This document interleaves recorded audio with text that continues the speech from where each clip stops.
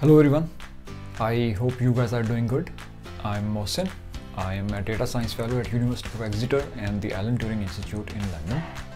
In this video, I will be talking about the top most important skills that university students must learn when they are doing their bachelor's, master's or PhDs. So if you are a student who is doing bachelor's, master's or PhD in a university, then this video is for you. So stay tuned and let's have a look uh, what are those important skills. One of the top most important skills that we should learn throughout our educational career is the communication skill. Communication skill helps students and other like professionals to succeed in their job market. Surveys suggest that around 85% of the success in the job market or professional career is due to communication skills.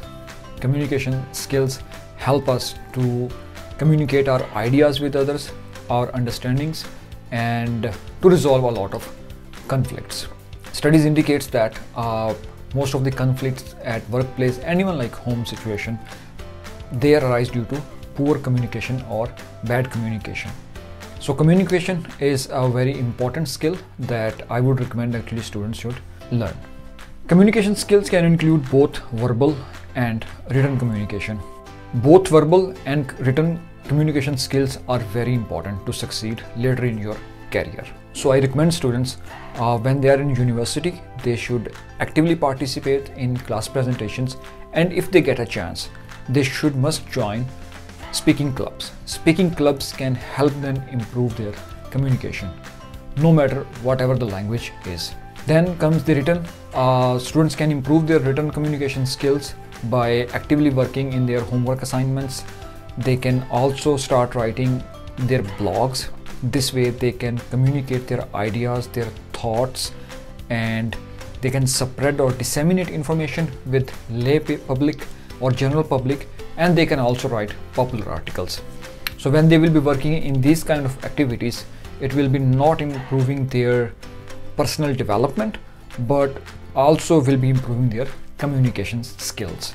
The second most important skill that university students must learn is the time management. School, university, they are different settings, different environments. Uh, students face like different kind of circumstances, but in professional life, we have to do a lot in our career. So those people who have strong time management skills, they always go ahead. They try to manage things very professionally and actively. So I suggest students, uh, if you get a chance, learn this important skill. For example, when students are at university, they are actively participating in their classes, they are preparing for their exams, and they are working on their homeworks and assignments. Besides that, uh, they will be working on their sport activities, different events, they will be participating in different management activities, and if some students they like, they will be also participating in student government or student politics. By actively participating in these activities, student will be able to learn how to manage their time. In university, most of the time is uh, we dedicate for our education, but beside that, we have to learn many other new things for our own professional and personal development. So, if a student can learn time management, he or she can actively participate in other activities and improve their personality or can do their professional development also. And this time management skill will help them a lot in their professional career. Third important skill is the creativity. Imagination is an important thing uh, that helps not only find out different solutions but also add new information. So I would recommend students to have imagination uh, because imagination will bring more innovation and that innovation will ultimately leads to sustainable or effective solutions to our modern day problems. If you see around, our society has a lot of like problems or these are modern day problems and they cannot be solved with the old methods or old techniques. So to solve these problems, like we have food security, we have pollution, we have climate change.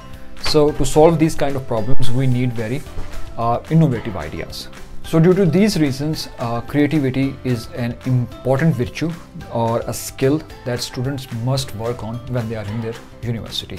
Another important skill that I believe actually students lack uh, when they come to their uh, professional job market or professional career is the critical thinking. Critical thinking is very important. It's a key and critical skill that students in this time they should learn.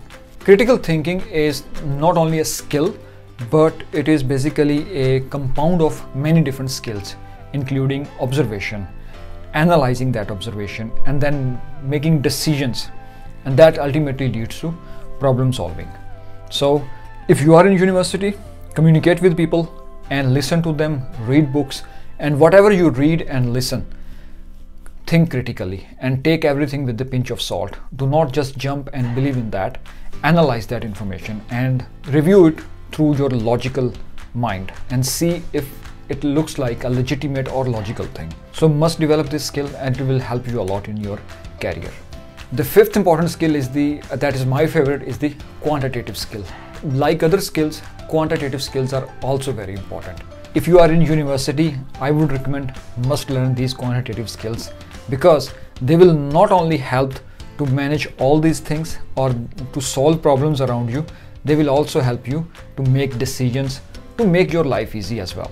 Quantitative skills include mathematics, some statistics, some sort of probability to evaluate if things happen or some phenomena they happen by chance or they happen randomly and learn something about economics.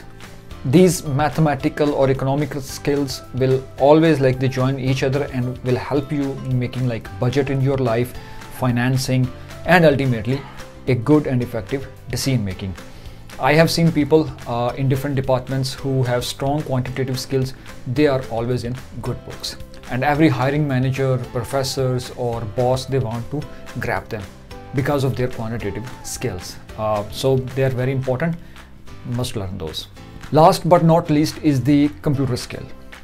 We are living in the 21st century the first quarter of 21st century has almost gone and we have seen in these 20 like, like 22 23 years we have seen a boom in IT information technology computer technology mobile phone self-driven cars and so on if you are a university student and uh, about to graduate or you plan to excel in your career must learn computer skills computer skills can be anything that we can do using the laptop or computers for example if you are working on your homework assignment, you should be aware of what are the writing tools that you can use.